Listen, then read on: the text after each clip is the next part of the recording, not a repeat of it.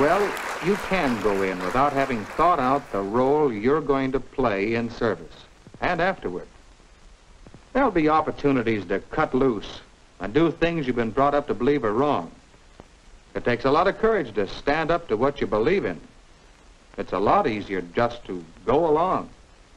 You may not want to go, but unless you've thought things out in advance, you'll be an easy mark. Now, what's wrong with having a little fun?